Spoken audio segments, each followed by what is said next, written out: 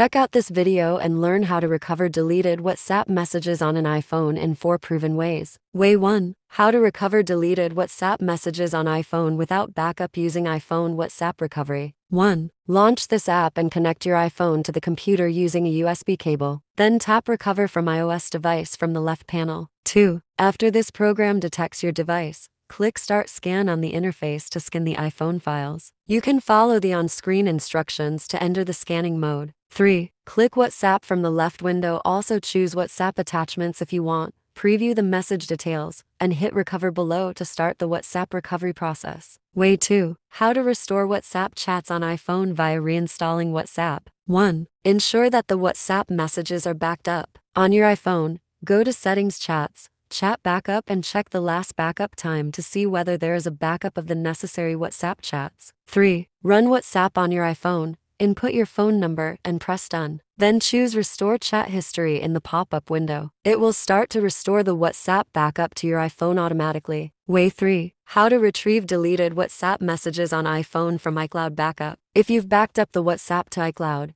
you can restore the WhatsApp messages on the iPhone via a few settings. 1. Head to iPhone Settings, choose General Reset Tap Erase all contents and settings to restore your iPhone to the factory settings. 2. Click Erase Now and enter your iPhone password to confirm this operation. 3. After erasure, your iPhone will restart automatically. When you reach the Apps and Data screen, choose Restore from iCloud Backup, sign into iCloud, and tap the backup file, including the deleted WhatsApp messages. Afterward, Follow the on-screen instructions to start to restore files. Way 4. How to retrieve deleted WhatsApp chats on iPhone via iTunes Backup. Of course, you can also retrieve the deleted iPhone WhatsApp messages from iTunes Backup if you have made one previously. 1. Open iTunes or Finder on your computer and link your iPhone to the computer via USB cable. 2. Unlock your iPhone and tap Trust as prompted to authorize your computer. 3. After a successful connection, Click the iPhone icon at iTunes upper left corner, tap Summary, and click Restore Backup in the right window. 4. Select the backup file that contains the WhatsApp chats and hit Restore. Finally, enter the password to extract the files if you have encrypted them.